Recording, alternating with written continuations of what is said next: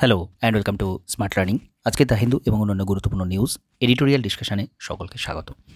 তো প্রথমে আমরা গুরুত্বপূর্ণ নিউজে দেখে নেব নিউজগুলো এখানে বেশ কিছু পলিটিক্যাল নিউজ রয়েছে, যেটা আমাদের জন্য গুরুত্বপূর্ণ নয়। এখানে একটা নিউজ রয়েছে। জেএসআই names and newly discover sea slug after president Murmu তো নতুন সি স্লাগ একটা আবিষ্কৃত হয়েছে। যেটা প্রেসিডেন্ট মুর্মুর নামে নাম রাখা হয়েছে। The zoological survey of India has name the new marine species of head said sea slug which it be rare spots which was discovered from West Bengal and Odisha coast after President of India Droupadi Murmu তো, এখানে নতুন এই স্পিসিসটা চিত্র আমরা দেখতে পাচ্ছি। মেলানো ক্লেমাস দ্রৌপদী এই নামটা কিন্তু দেওয়া হয়েছে। সি স্লাগ তো এটা গুরুত্বপূর্ণ ফ্যাকচুয়াল কোয়েশ্চেন এখান থেকে তৈরি হতে পারে। আচ্ছা এরপর আমরা গুরুত্বপূর্ণ এডিটোরিয়ালে চলে যাব। E evidence new criminal law its implementation e evidence electronic evidence নতুন ক্রিমিনাল ল এবং তার যে ইমপ্লিমেন্টেশন রয়েছে, তার ব্যবহারের দিক রয়েছে, সেটা নিয়ে গুরুত্বপূর্ণ একটা এডিটোরিয়াল এসছে।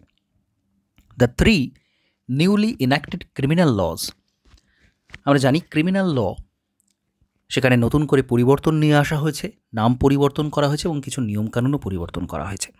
ভারতীয় ন্যায় সংহিতা, যেটা ইন্ডিয়ান পিনাল কোড বলা হতো, সেটা বর্তমানে ভারতীয় ন্যায় সংহিতা নামে পরিচিত হবে। ভারতীয় নাগরিক সুরক্ষা সংহিতা, যেটা কোড অফ ক্রিমিনাল প্রসিডিওর বা সিআরপিসি যেটা ছিল, সেটার নাম হয়েছে ভারতীয় নাগরিক সুরক্ষা সংহিতা। এবং ভারতীয় সাক্ষ্য অধিনিয়ম, বা যেটা ইন্ডিয়ান এভিডেন্স অ্যাক্ট ছিল, সেটাকে পরিবর্তন করে রাখা হয়েছে ভারতীয় সাক্ষ্য অধিনিয়ম।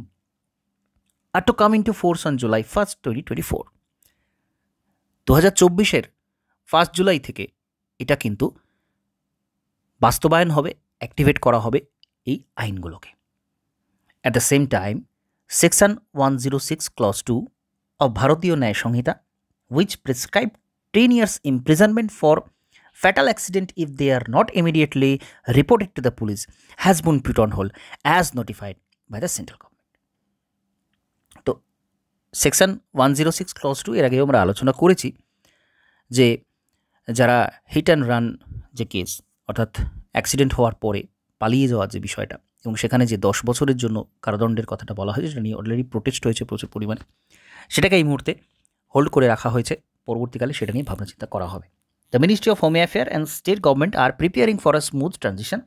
While some changes have been made in the Bharatiya Nyaya Samhita, Nyaya, Bharatiya Nagorik Suraksha Samhita, in connection with investigation and police functioning, and new offences and some changes introduced in BNS. তো আমরা জানি এই যে নাম পরিবর্তনের সাথে সাথে বেশ কিছু প্রভিশনস চেঞ্জ করা হয়েছে নতুন কিছু নিয়ম নিয়ে আসা হয়েছে ইনভেস্টিগেশনের ক্ষেত্রে পুলিশ ইনভেস্টিগেশনের ক্ষেত্রে আরও কিছু ক্ষমতার রদবদল করা হয়েছে ক্ষমতা আরও বেশি দেওয়া হয়েছে, এরকম কিছু চেঞ্জেস নিয়ে আসা হয়েছে।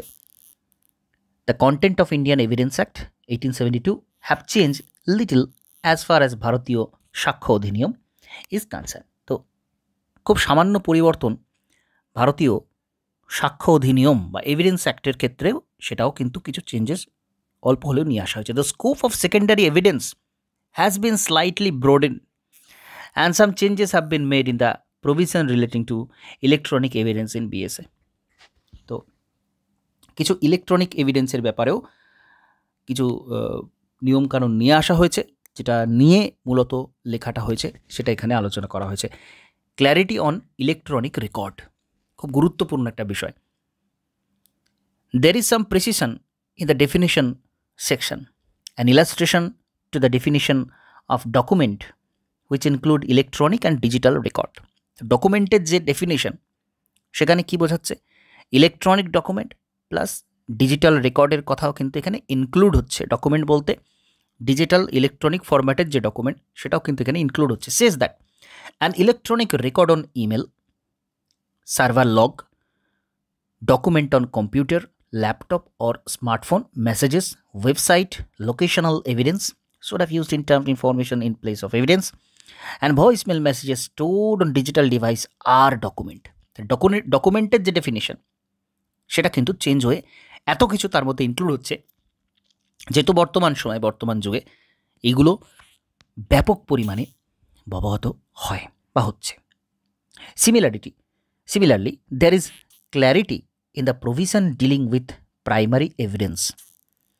Primary evidence that is electronic evidence section সাতান্নতে কি বলা হচ্ছে in form of explanation one of such four explanation says that where a video recording is simultaneously stored in electronic form and transmitted or broadcast on transfer to other each of the record stored recording shall be primary evidence তো এই ধরনের যে রেকর্ডিংগুলো এটাকে primary evidence ধরা হবে। যেটা video evidence video recording যেটা electronic ফরম্যাটে ট্রান্সমিট করা হচ্ছে বা ব্রডকাস্ট করা হচ্ছে বা ট্রান্সফার করা হচ্ছে, এই সমস্ত কিছুকে কিন্তু প্রাইমারি এভিডেন্স হিসেবে দেখা হবে। দ্যাট ইজ মোস্ট ইম্পর্টেন্ট এতদিন পর্যন্ত এই সমস্ত ব্যবহার ছিল না বা এগুলো ছিলই না। ইন্টারনেটের যুগ আসার পর স্মার্টফোনের যুগ আসার পর এইগুলো কিন্তু বর্তমানে এসেছে। সেই কারণে আইনগত পরিবর্তন সেখানেও কিন্তু এগুলো ইনক্লুড করা হয়েছে। This may help the investigating agencies in fixing culpability of a cyber criminal even if he destroy his original electronic record to deny the allegation as may be collected from other sources without value getting diminished তো যারা এই ধরনের সোর্সগুলোকে নষ্ট করে দেন সেটা কিন্তু other source থেকেও যদি কালেক্ট করা হয় সেটাকেও এর এভিডেন্স হিসেবে প্রমাণ হিসেবে তখন কিন্তু দেখানো যাবে এই আইনের বলে section sixty three which deals with admissibility of electronic record include terms such as semiconductor memory and any communication device for better visibility. However, this does not change the impact of the provision because the definition of electronic form given the Information Technology IT Act 2000 include information generated, sent, received or stored in computer memory. Similarly, the definition is computer network and the IT Act is comprehensive and includes. তো এখানে এই store করে রাখার যে ব্যাপারটা রয়েছে communicative device semiconductor memory বলা হচ্ছে, যেটাকে আগে কম্পিউটার মেমোরি বলা হতো। এই আইটি এক দু সাল অনুযায়ী যেটাকে কম্পিউটার কম্পিউটারাইজড যে সমস্ত ডেটা সেটাকে এখানে বলা হচ্ছে সেমিকন্ডাক্টর মেমোরি বা যে কোনো কমিউনিকেটিভ ডিভাইসে যে কোনো ধরনের মেমোরির কথা বলা হচ্ছে। তো এখানে মূল যে বিষয়টা আমাদের বক্তব্য যে বেসিক্যালি এটা কিন্তু প্রয়োজন ছিল, কারণ আমরা জানি সেই ক্যানিংয়ের সময়কালে ক্যানিংয়ের সময়কালে একেবারে সিপাহী বিদ্রোহের পর যে সমস্ত আইপিসি সিআরপিসিগুলো তৈরি হয়েছিল, সেগুলোই কিন্তু এতদিন পর্যন্ত চলে এসেছে। অবশ্যই সেখানে কিছু অ্যামেন্ডমেন্ট হয়েছিল, পরিবর্তন হয়েছিল, পরিবর্ধন হয়েছিল, পরিমার্জন হয়েছিল। কিন্তু তা সত্ত্বেও সেখানে এই সমস্ত বিষয়গুলোকে কিন্তু ইনক্লুড করার প্রয়োজন ছিল এবং আমাদের যখনই এই এই বিষয়টা কিন্তু অত্যন্ত গুরুত্বপূর্ণ বিষয়। এই যে নামগুলো পাল্টানো হয়েছে, এই নামগুলো থেকে কিন্তু প্রশ্ন কোনো না কোনো পরীক্ষাতে থাকবেই। ফ্যাকচুয়াল ইনফরমেশান হিসেবে হিসেবে থাকবে। এবং এটা প্রাসঙ্গিকতা আমাদের যখন বলতে বলা হবে, আমাদের যে কোনো এডিটোরিয়াল লেটারে রিপোর্ট রাইটিংয়ে প্রাসঙ্গিকতা নিয়ে যখন বলতে বলা হবে, তখন আমাদের কিন্তু কিছু পজিটিভ আলোচনার মধ্যে এই ইলেকট্রনিক যে বিষয়টা ই এভিডেন্স এই যে প্রভিশনসগুলো এখানে রয়েছে আইনের সেকশানগুলো রয়েছে সেগুলোকে তুলে ধরে আমাদেরকে কিন্তু বলতে হবে যে এর কিন্তু প্রাসঙ্গিকতা আছে, কারণ আধুনিক সময় এগুলোর ব্যাপক ব্যবহার এবং সেগুলোকে আইনের মধ্যে আনা, অন্তর্ভুক্তি করুন, এটা কিন্তু অবশ্যই প্রয়োজনীয় ছিল এবং সেটা করা হয়েছে। দ্যাট ইজ ইম্পর্ট্যান্ট এবার এর অনেক সমালোচনাও ছিল। এর আগে আমরা অলরেডি আলোচনা করেছি যখন এটাকে আনা হয়েছিল, পাশ করানো হয়েছিল। সাথে সাথেই বাংলা, ইংরেজি পেপারে যে এডিটোরিয়াল ছিল, সেখানে আমরা অলরেডি এগুলো আলোচনা করেছি। তো আমি আবারও পরে আমরা এগুলো দেখতে পাবো, যখন এটা ইমপ্লিমেন্ট হবে জুন মাসে। যখন দেখতে পাবো জুলাই মাসে ফার্স্ট জুলাই যখন হবে, তখন আমরা কিন্তু আবারও এই সমস্ত নিয়ে আলোচনা, সমালোচনা দেখতে পাবো। তখন আবার আমরা এটা নিয়ে ডিটেলস আলোচনা করব। আমরা অন্যান্য নিউজ দেখে নেব এবার বাংলা নিউজ এবং এডিটোরিয়ালে চলে যাব।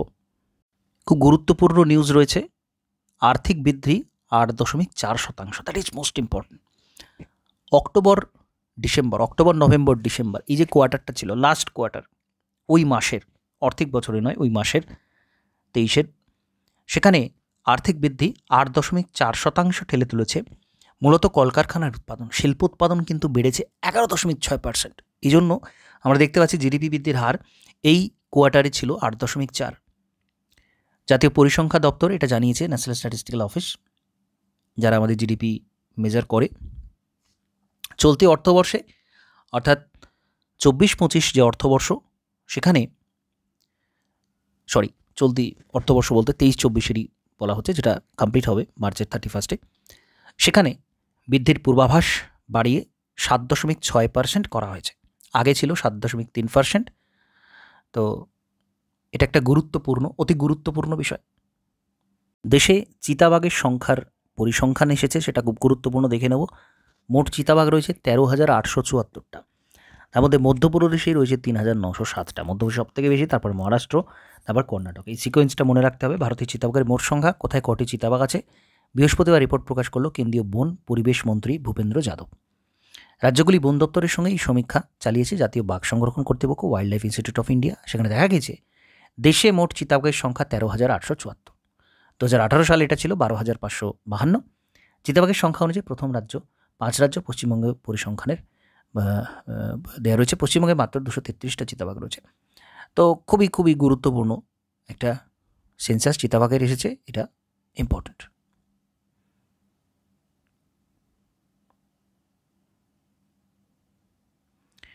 উন্নয়ন না রুকলে উষ্ণায়ন না রুকলে খরার আশঙ্কা হিমালয়। খুব গুরুত্বপূর্ণ একটা রিপোর্ট আমরা দেখতে পাবো। বিশ্ব উষ্ণায়নের প্রকোপ স্পষ্ট, পৃথিবী জুড়ে গরম বেড়ে চলেছে। এর মধ্যে একটি গবেষণাপত্রে দাবি করা হলো, বিশ্ব উষ্ণায়ন যদি তিন ডিগ্রি সেলসিয়াস বেড়ে যায়, তাহলে হিমালয় পার্বত্যাঞ্চলের নব্বই শতাংশ এলাকায় খরা দেখা যাবে। তিন ডিগ্রি সেলসিয়াস টেম্পারেচার বাড়াচার কিন্তু হিউজ এখানে বৃদ্ধি হিউজ ইনক্রিজ সেই খরা চলবে বছরভর ক্লাইমেটিক চেঞ্জ নামক জার্নালে গবেষণাপত্রটি প্রকাশিত হয়েছে। ক্লাইমেটিক চেঞ্জ জার্নালিতে বলা হচ্ছে। প্যারিস জলবায়ু চুক্তিতে উষ্ণায়ন নিয়ে সতর্কতা করে বলা হয়েছিল। বিশ্বের গড় তাপমাত্রা বৃদ্ধি দেড় ডিগ্রি সেলসিয়াসের মধ্যে বেঁধে রাখতে হবে। কিন্তু সে হারে দূষণ, যে হারে পাল্লা দিয়ে গরম বাড়ছে, তাতে করে তিন ডিগ্রি সেলসিয়াস বেড়ে গেলে কী হবে? ইউনিভার্সিটি অফ ইস্ট অ্যাঙ্গোলীয় বিশেষজ্ঞরা গবেষণাটা করেছেন। তার এই গবেষণায় দেখেছেন কীভাবে সাধারণ মানুষের জীবন, প্রকৃতি, জলবায়ু পরিবর্তনে প্রভাব পড়বে। মোট আটটি গবেষণা করা হয়েছে। বিজ্ঞানীদের গবেষণার ক্ষেত্র ছিল ভারত, ব্রাজিল, চীন, মিশর, ইথিওপিয়া, ঘানা, ছটি দেশ। জানানো হয়েছে, এভাবে গরম বাড়লে খরা ও একই সঙ্গে বন্যার আশঙ্কা থাকবে। শস্য উৎপাদন কমে যাবে, জীব বৈচিত্র্য কমবে। বিশ্ব উষ্ণায়ন তিন থেকে চার ডিগ্রি সেলসিয়াস বাড়লে ভারতে যেমন পরাগ সংযোগ অর্ধেক হয়ে যাবে। পলিনেশন। বিশ্ব উষ্ণায়ন যদি দেড় ডিগ্রিতে আটকে রাখা যায়, তাহলে চাষের জমি খরার হাত থেকে অনেকটাই বাঁচানো সম্ভব হবে। বন্যা রক্ষা গেলে নদী তীরবর্তী অঞ্চলে অর্থনৈতিক ক্ষয়ক্ষতি কমানো যাবে। এজন্য সব দেশকে আরও বেশি করে চেষ্টা করতে হবে। যে ছটি দেশে গবেষণা চলছে, সেসব দেশে বহু জায়গাতে উষ্ণায়ন স্বাভাবিক হারে বেড়েছে। এর অন্যতম কারণ জনসংখ্যা বৃদ্ধি। তো ওভারঅল এখানে যে বিষয়গুলো উল্লেখ আছে, সেগুলো কম বেশি আমরা জানি। তবে যে রিপোর্ট প্রকাশিত হয়েছে, তিন ডিগ্রি সেলসিয়াস বেড়ে গেলে কী হবে? এটা কিন্তু আমরা বিভিন্ন জায়গাতে উল্লেখ করতে পারি। যেখানে পরিবেশ সংক্রান্ত বিষয় আসবে, বিশ্ব উষ্ণায়ন গ্লোবালাইজেশন সরি গ্লোবাল ওয়ার্মিং সম্পর্কে যেখানে যখনই যে কোনো বিষয় আসবে, তখন আমরা এটাকে উল্লেখ করতে পারি।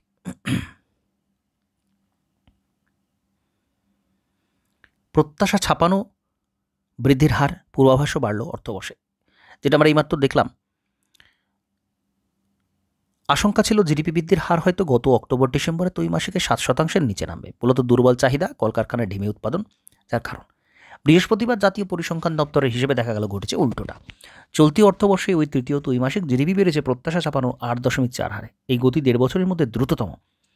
তাকে ঠেলে তুলেছে মূলত কলকারখানার উৎপাদন এগারো দশমিক ছ শতাংশ বৃদ্ধি, যা আগের অর্থবর্ষের সময় চার দশমিক আট পার্সেন্ট সংকুচিত হয়েছিল। এটা আমরা আগে দেখেছিলাম যে কলকারখানার উৎপাদন কিন্তু কমে গিয়েছিল। সেটা হিউজ বেড়েছে।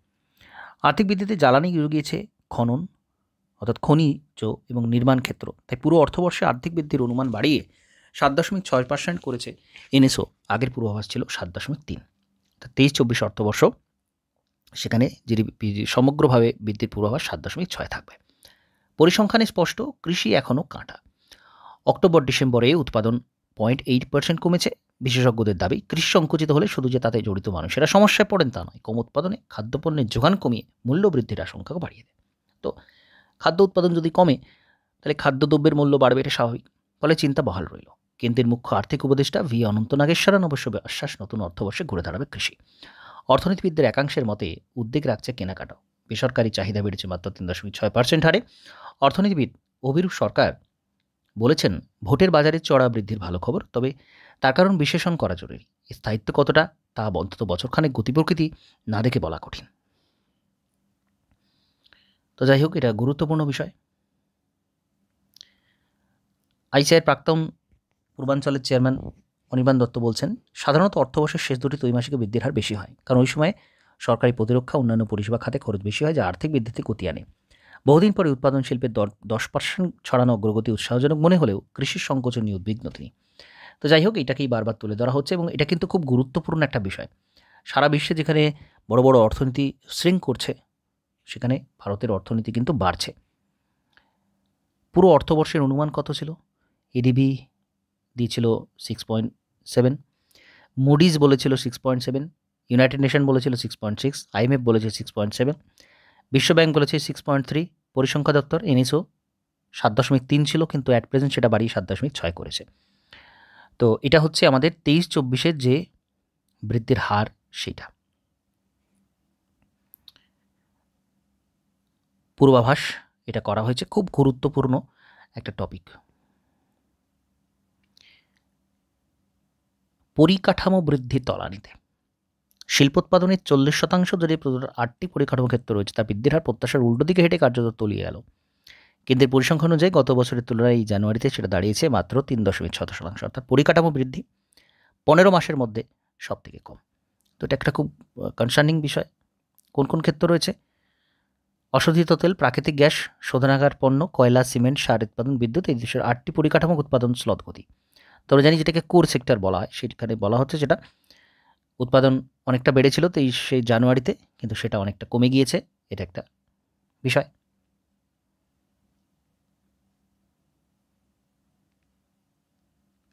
সামাজিক প্রকল্প পরিকাঠামো ক্ষেত্রে উন্নয়নের জন্য রাজ্যগুলিকে করের ভাগ হিসেবে মোট এক লাখ বিয়াল্লিশ হাজার একশো বাইশ কোটি টাকা মঞ্জুর করল কেন্দ্রের মধ্যে।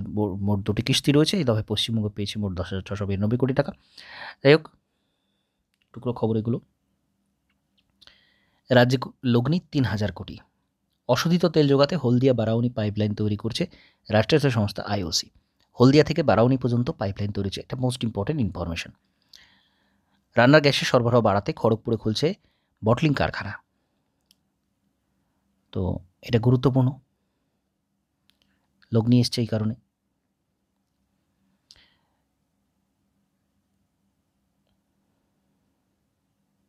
এরপর আমরা বাংলা এডিটোরিয়ালে চলে যাব।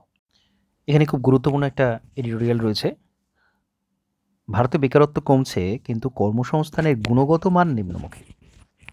এটা গুরুত্বপূর্ণ একটা বিষয়, কারণ জিডিপি বাড়ছে বা এই সমস্ত বিষয় আমরা দেখতে পাচ্ছি। তার সাথে সাথে আভ্যন্তরীণ বিষয়টা কি, সেটা কিন্তু আমাদের একটু খতিয়ে দেখা প্রয়োজন।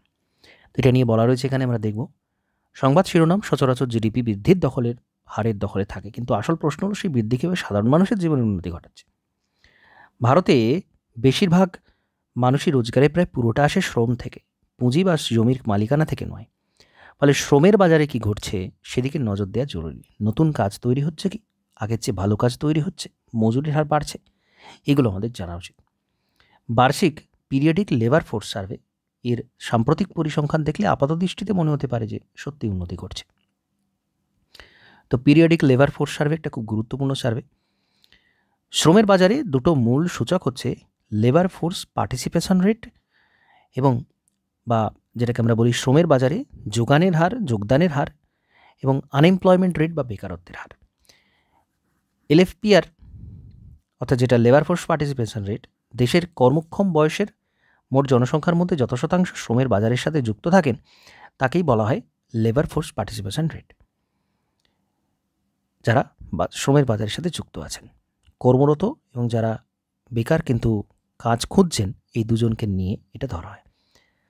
আর মোট যত মানুষ শ্রমের বাজারে যোগ দিয়েছেন, অর্থাৎ কাজ খুঁজছেন বা কর্মরত, তাদের যত শতাংশ কাজ খুঁজছেন কিন্তু পাচ্ছেন না, সেই হারটা হচ্ছে বেকারত্বের হার।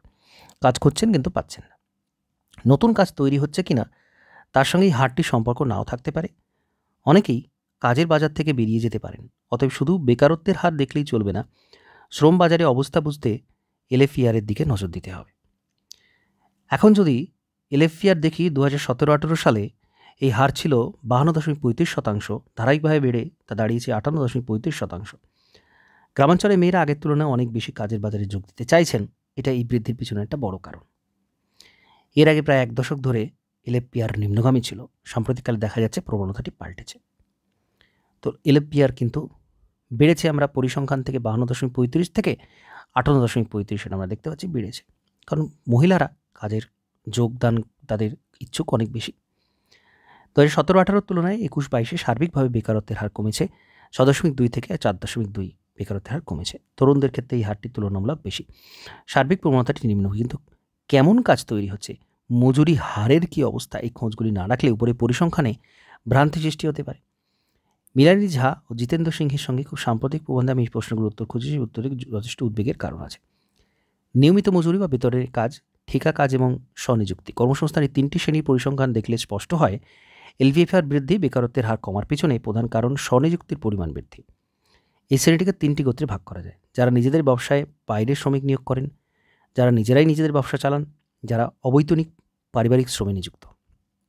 দু হাজার সতেরো আঠেরো থেকে একুশ বাইশের মধ্যে এই গোত্রগুলির মধ্যে প্রথমটির অনুপাত বেড়েছে এক শতাংশ বিন্দুর কম। তৃতীয়, অর্থাৎ পারিবারিক ক্ষেত্রে অবৈতনিক শ্রমে নিযুক্তদের অনুপাত বেড়েছে ছাব্বিশ থেকে thirty one point four percent huge অর্থাৎ যার জোরে এলএফপিআর বেড়েছে এবং বেকারত্বের হার কমেছে, তা হচ্ছে মূলত অবৈতনিক পারিবারিক শ্রমে যোগদানের প্রবণতা। অন্যদিকে কর্মসংস্থানের অন্য ক্ষেত্রে নিয়মিত বেতনের চাকরি, ঠিকা, শ্রম, শ্রমিক, নিয়োগকারী সংযুক্তি ব্যক্তি, নিজে কাজ করা সংযুক্ত ব্যক্তি, কর্মসংস্থান কমেছে। অতি সামান্য বেড়েছে। সব মিলিয়ে দেশের কাজে সার্বিক গুণগত মান কমেছে। অর্থাৎ এই যে ওভারঅল ডেটা তার ভেতরে ঢুকে আমরা যদি পর্যবেক্ষণ করি, তাহলে দেখতে পাবো যে গুণগত মান, শ্রমের গুণগত মান কমেছে এবং যে শ্রমিক হিসেবে যে অর্থ প্রদান করা হচ্ছে, সেই শ্রমের যে মূল্য, সেই ভ্যালুটা কিন্তু কমেছে। এটা গুরুত্বপূর্ণ। যারা স্বনিযুক্ত হিসেবে কাজ করেন, পারিবারিক সদস্য ছাড়া অন্য কোনো শ্রমিক নিয়োগ করেন না, যেমন চা বিক্রেতা, ফেরিওয়ালা, দেশে কর্মসংস্থান, জনসংখ্যা তাদের অনুপাতে কিন্তু সর্বাধিক থার্টি ফাইভ পার্সেন্ট এটা গুরুত্বপূর্ণ দিক। কল্যাণ অর্থনীতির দৃষ্টিকোণ থেকে দেখলে দেশের সার্বিক আয় বৃদ্ধির সাথে শ্রমের বাজারে কাজের গুণগত মান, মজুরি বর্তমান চিত্রটি উদ্বেগজনক। অন্য একটা উদ্বেগের কারণ হচ্ছে ভারতের শ্রম বাজারে বিভিন্ন গোত্রের অনুপাত।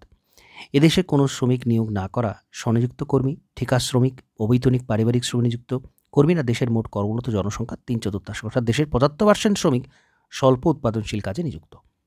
জিডিপির বৃদ্ধির হার বা বেকারত্ব কমার পরিসংখ্যানের দিক দিয়ে দেশের সিংহভাগ মানুষ এই উদ্বেগজনক ছবিটি ঢাকা যাবে না। তো এটা মোস্ট ইম্পর্ট্যান্ট একটা বিষয়। খুব গুরুত্বপূর্ণ একটা এডিটোরিয়াল রয়েছে, ভারতীয় বিজ্ঞান দিবস। এই দিনে বিজ্ঞানের জয়যাত্রাকে অবলম্বন করে বিজ্ঞান চর্চার শপথ পাঠ। এটা খুব গুরুত্বপূর্ণ বিষয়। ভারতে বর্তমান পরিস্থিতিতে বিজ্ঞান চর্চার কী পরিস্থিতি, অতীতে কী ছিল ইত্যাদি বিষয় এখানে তুলে ধরা হয়েছে, খুব গুরুত্বপূর্ণ। তো আমরা জানি এবছর কিন্তু বিজ্ঞান কংগ্রেস, সায়েন্স কংগ্রেস কিন্তু হয়নি। সেটা নিয়ে প্রচুর সমালোচনা হয়েছে। তো বিজ্ঞান দিবস পালন করা হচ্ছে ভারতের সাথে বাংলাতে পালন হচ্ছে। আঠাশে ফেব্রুয়ারি, স্যার সিভি রমন তার রমন এফেক্ট আবিষ্কার করেছিলেন, উনিশশো সালে রমন রোমের পুরস্কার লাভ করেন। ভারতে বিজ্ঞান চর্চা তার আগে কেউই আর নোবেল পাননি। সাহিত্যে রবীন্দ্রনাথ ঠাকুর পেয়েছিলেন, তারপরে সিভি রমন পেলেন। উনিশশো ছিয়াশি সালে national council for science and technology communication, Bharat সরকারকে আঠাশে ফেব্রুয়ারি জাতীয় বিজ্ঞান দিবস করার প্রস্তাব দেওয়া হয়। এ পিছনে কারণ ছিল ভারতের বিজ্ঞান চিন্তাকে প্রভাবিত করা রবীন্দ্রনাথ ঠাকুরও পর্যন্ত বিজ্ঞান প্রসারের উপর জোর দিয়েছিলেন। তিনি বিশ্ব পরিচয় নামক একটি বিজ্ঞান বই রচনা করেছিলেন। বিশ্ব পরিচয়, এটা গুরুত্বপূর্ণ ইনফরমেশন এই বইটি রচনার ভার দিয়েছিলেন বিজ্ঞানী সত্যেন্দ্রনাথ বোসকে। পরে রবীন্দ্রনাথ নিজেই এই বইটা লিখে প্রকাশ করেছেন। তো বিজ্ঞানের উপর আসক্তি রবীন্দ্রনাথ ঠাকুরের ছিল এই সময়। মহর্ষি দেবেন্দ্রনাথ ঠাকুর, তিনি অক্ষয় কুমার দত্তকে সম্পাদক করে তত্ত্ববোধিনী পত্রিকা প্রকাশ করেন। এই পত্রিকার অধিকাংশ লেখাই ছিল বিজ্ঞান বিষয়ক। ঈশ্বরচন্দ্র বিদ্যাসাগর পর্যন্ত এই তত্ত্ববোধিনী পত্রিকা দেখভাল করতেন। আসলে বিদ্যাসাগর বিজ্ঞান চর্চার দিকে মনোনিবেশ করেছিলেন। তিনি যে চরিত কথা রচনা করে গিয়েছেন, তার মধ্যে অধিকাংশ লোকই বিশ্ববিখ্যাত বিজ্ঞানী। গ্যালারিও থেকে শুরু করে কোপার্নিকাস এবং আইজাক নিউটন, কেউ বাদ যাননি। প্রায় সব বিখ্যাত বিজ্ঞানীরা বিদ্যাসাগরের জীবনচরিত্রে স্থান পেয়েছিলেন। তো অক্ষয় কুমার দত্ত তো বাংলার বিজ্ঞান শব্দ তৈরি করেছিলেন, তখন বিজ্ঞানের অধিকাংশ বই ইংরেজিতে। বাংলার কোনো বিজ্ঞানের বই ছিল না, এমনকি ভূগোলের বইও বাংলায় ছিল না। বিজ্ঞান ও ভূগোলের রচনায় বাংলার রচনা করার উদ্যোগ গ্রহণ করেছিলেন অক্ষয় কুমার দত্ত। তো এটা খুব গুরুত্বপূর্ণ ইনফরমেশান এগুলো। তিনি অনুভব করতে পেরেছিলেন, বাংলার মুক্তি হবে বিজ্ঞান চর্চার মধ্য দিয়ে। বিজ্ঞান চর্চা যত বেশি বৃদ্ধি লাভ করতে পারবে, ততই বাংলার মুখ উজ্জ্বল হবে। সমাজে কুসংস্কারগুলো ক্রমশ দূর হতে থাকবে। ভগিনী নিবেদিতা এসেছিলেন আয়ারল্যান্ড থেকে তিনি বিজ্ঞান চর্চার উপরে জোর দিয়েছিলেন। বিবেকানন্দ তার বাংলা নিয়ে এসেছিলেন নারী শিক্ষার প্রসারের জন্য। নিবেদিতা তখন বাগবাজার একটি মহিলা স্কুল খুলেছিলেন, সেখানে মেয়েদের ইংরেজি শিক্ষা দেওয়া হতো। পরে ভগিনী নিবেদিতা ক্রমশ গড়তে শুরু করলেন এবং একসময় তিনি বিপ্লবী অরবিন্দের হাত ধরে বিপ্লবী আন্দোলনকে জোরদার করে তোলার চেষ্টা করেছিলেন। তারপর দেখতে পাওয়া গেল যে তিনি বেলুড় মঠ ত্যাগ করে আচার্য জগদীশ বসুর সাথে বিজ্ঞানের উন্নতির জন্য সহযোগিতা করতে শুরু করে দিয়েছেন। বসুর বিজ্ঞান মন্দির তৈরি হয়েছিল ভগিনী নিবেদিতার অনুপ্রেরণায়। স্বামী বিবেকানন্দ বারবার এটি কথা বলতেন, ব্যবহারিক বিজ্ঞানের প্রসার ঘটাতে হবে। ব্যবহারিক বিজ্ঞানের প্রসার না ঘটলে মানুষের জীবনের মান উন্নত হবে না। সে কারণে তিনি বিজ্ঞান চর্চার উপরে জোর দিয়েছেন। আচার্য প্রফুল্লচন্দ্র রায় বিজ্ঞান সাধক ছিলেন। তিনি ব্যবহারিক বিজ্ঞানের উপর জোর দিয়েছিলেন। তিনি বেঙ্গল কেমিক্যাল নির্মাণ করেছিলেন। আচার্য প্রফুল্লচন্দ্র রায় মোস্ট ইম্পর্টেন্ট বিষয়। বেঙ্গল কেমিক্যাল। নোবেল পুরস্কার পাওয়ার যোগ্য অর্জতা অর্জন করেছিলেন আচার্য বিজ্ঞানচন্দ্র জগদীশচন্দ্র বসু। বেতার আবিষ্কার করলে তার আগে মার্কানি বেতার আবিষ্কার করলে যাই হোক, নোবেল পুরস্কার থেকে তিনি বঞ্চিত হন। ভারতীয় জাতীয় বিজ্ঞান দিবসে বিজ্ঞান চর্চার পাশাপাশি প্রযুক্তিবিদ্যাকে রাখা হয়েছে। উন্নত ভারত গড়তে গেলে দেশীয় প্রযুক্তির প্রসার ঘটাতে হবে। নাহলে দেশ সামনের দিকে এগোতে পারবে না বলে বিশ্বাস করেন বিজ্ঞানমহল এটা গুরুত্বপূর্ণ। সাম্প্রতিকভাবে চন্দ্রাভিযান করেছে ভারত। সূর্য পর্যবেক্ষণের জন্য যান পাঠানো হয়েছে। মহাকাশ বিজ্ঞানের ক্ষেত্রে ইসরো গুরুত্বপূর্ণ ভূমিকা পালন করতে শুরু করে দিয়েছে। পরমাণু বিজ্ঞানেও ভারত দ্রুত প্রসারিত লাভ করতে শুরু করেছে। ভাবা অ্যাটমিক রিসার্চ সেন্টার থেকে পরমাণু গবেষণা বৃদ্ধি সমৃদ্ধি লাভ করেছে। সামরিক বিজ্ঞানে ভারত আগের থেকে অনেক বেশি এগিয়ে গিয়েছে। সব অস্ত্র তৈরি করতে শুরু করে দিয়েছে ভারতের জাতির নিরাপত্তার কথা চিন্তা করে। রাইফেল ফ্যাক্টরি থেকে এখন অত্যন্ত আধুনিক মানের রাইফেল তৈরি হচ্ছে ভারতীয় সেনাদের জন্য। তো এগুলো সব গুরুত্বপূর্ণ বিষয়। নিত্য প্রয়োজনীয় পণ্যের উৎপাদনে বিজ্ঞানকে ব্যবহার করা হচ্ছে। চীন যদিও এই ব্যাপারে অনেক বেশি এগিয়ে রয়েছে। চীনের পথকে ভারত অনুসরণ করতে শুরু করেছে। ভারত এখন আত্মনির্ভর, মহান ভারত গড়ে তোলার পথ ধরে এগিয়ে চলতে শুরু করেছে। বিজ্ঞানকে শান্তির কাজে ব্যবহার করার কথা ভাবছে ভারত। তো এগুলো গুরুত্বপূর্ণ বিষয়? ঐতিহাসিক দিকটা গুরুত্বপূর্ণ? এখানে বিদেশের বিভিন্ন বিষয় আলোচনা করা রয়েছে। সত্যেন্দ্রনাথ বসুর ভূমিকাটা অবশ্যই উল্লেখ্য।